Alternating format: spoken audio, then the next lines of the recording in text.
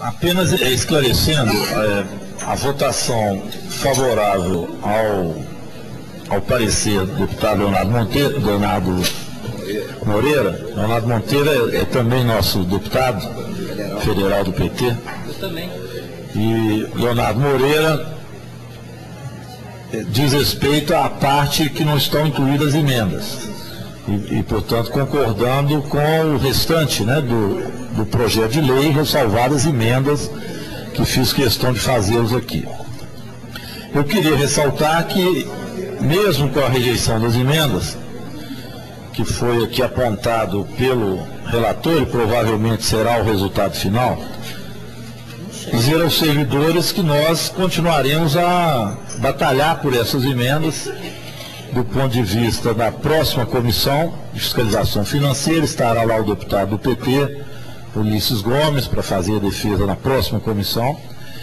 E, posteriormente, em plenário, nós apresentaremos estas emendas e provavelmente mais algumas que vão ser fruto também do debate aqui na casa e da própria reivindicação dos servidores. Quero ressaltar também que as emendas que apresentamos são emendas factíveis não há aqui emenda no sentido de buscar inviabilizar o projeto.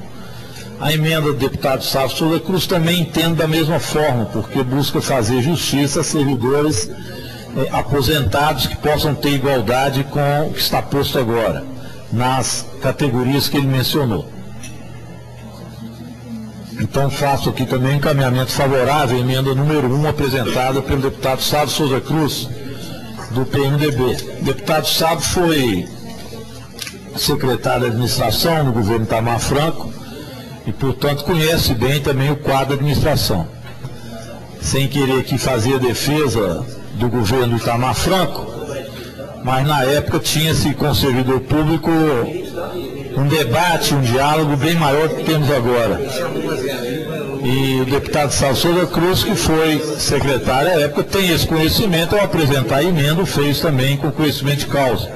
Então nós queremos aqui encampar como nossa também a emenda do deputado Salso Souza Cruz. As emendas apresentadas por mim pelo